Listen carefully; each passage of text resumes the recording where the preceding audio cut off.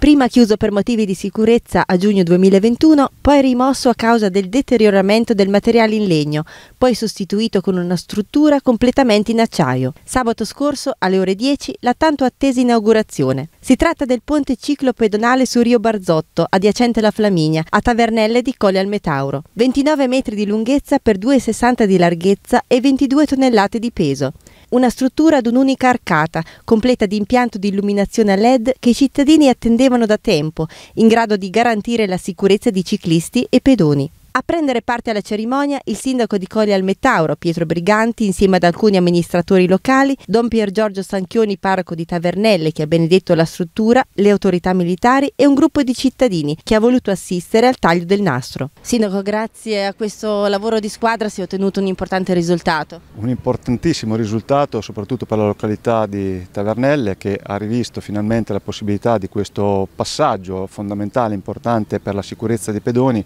tra la Tavernelle Vecchia e la Tavernelle Nuova. Un ponte importante, importante nella struttura, importante nella solidità, importante nei materiali di costruzione che eh, oltre ad avere un, sicuramente un aspetto estetico che ben si accosta a quello che è l'aspetto che abbiamo intorno a questo ponte, è fatto in acciaio, quindi con livelli di manutenzione molto bassi, una durabilità sicuramente molto elevata. Un ponte importante perché i cittadini erano costretti lungo questo percorso già presente di questa pista ciclopedonale ad attraversare questo spazio in una strada provinciale molto pericolosa a Flaminia con una strettoia derivante da un ponte che abbiamo al nostro fianco. Quindi mettiamo in sicurezza i cittadini e ricreiamo questo collegamento, questo, questo, questo ponte di collegamento tra le due località.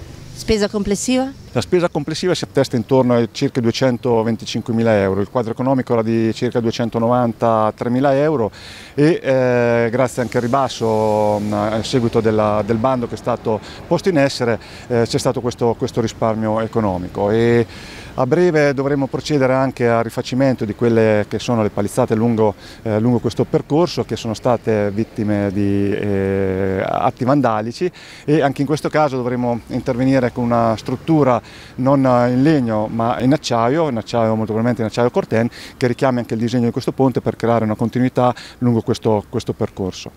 Presente all'inaugurazione anche la ditta costruttrice e il progettista. La vostra ditta ha realizzato questo ponte, che cosa significa per lei oggi questa cerimonia? Beh, questa cerimonia oggi per me è un orgoglio visto che sono, abitavo qui vicino e quindi ero contento di poter realizzare quest'opera e orgoglioso di, di averla fatta. Perché la scelta di questi materiali? Ma diciamo che la scelta è stata sicuramente dettata da una scelta di manutenzione, di durabilità perché proprio veniamo da, dalla sostituzione di un ponte che aveva la struttura principale in legno lamellare e che ha avuto una vita abbastanza breve per una serie di motivazioni, quindi eh, nemmeno, nemmeno 20 anni.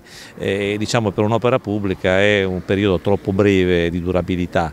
La scelta che è stata fatta è quella proprio di non ripetere quel tipo di materiale ma di andare in direzione di un materiale in acciaio, corteo, Ren che assume una forma, questa forma tipo ruggine che vedete, una forma di autoprotezione che il materiale ha e dà quindi una grandissima durabilità senza sostanzialmente manutenzione.